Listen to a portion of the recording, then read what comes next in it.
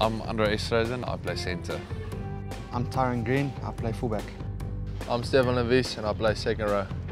I'm Wilco and I play tighthead prop. Guys, welcome to Goodwood Motor Circuit. We've got an activity for you to do now on the skid pan. You're going to take part in our stunt driving course. We're scoring you in three areas, okay? We're going to score you on style, we're going to score you on accuracy and also flow. Let's Happy? go. Brilliant. Who's going to be the Lewis Hamilton of this group today around the track? Not Tyrone. Probably me. We know who's it not. So what are you doing here today? Yeah, I think we just here to have a bit of fun on the track. First gear. Uh, no. I went the wrong way. Which of you drives like that normally? Probably Andre.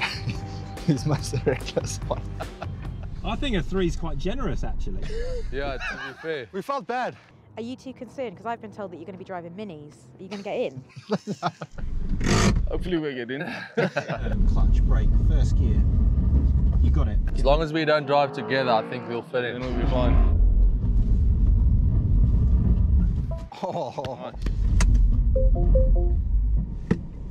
Not bad. what's that? Eight. Eight. Yeah, I guess it's a solid eight. Okay, let's talk about Harlequins this season and the Prem season on the whole. Leicester Tigers have been in the driving seat, but how have you felt the Quins season has gone? Quins, I think we've done well. Uh, we're pushing for the double trophies. But yeah, I think we've got a good chance this year. So we just focus on ourselves and try to make sure we keep our performances up there. And when playoffs come, anything can happen. That's it. Oh, definitely seven. Seven. Yeah, I'll take the seven. How excited are you to play at Twickenham? Yeah, really excited. I think it's exciting for the club having like a second big game, and this time around will be hopefully sun will be shining, and we can express ourselves the way we like to. Um, as Quins, we like to obviously score tries and throw the ball around. So we just hopefully we can sell out Twickenham and all, have all our fans there and make it a special day. Oh,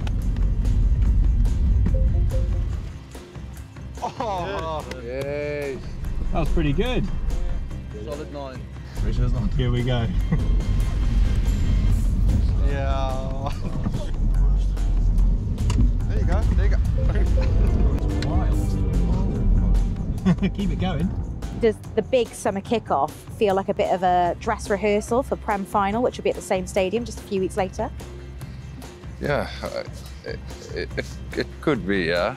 Gloucester is obviously one of, one of the teams that also has, has a chance to get into playoffs and stuff. So um, I, I think if we get it right, then uh, it will just give us massive confidence going into the playoffs um, and obviously, hopefully, the final. Uh, that would be lovely. Awesome. Yes, Walker. That's one.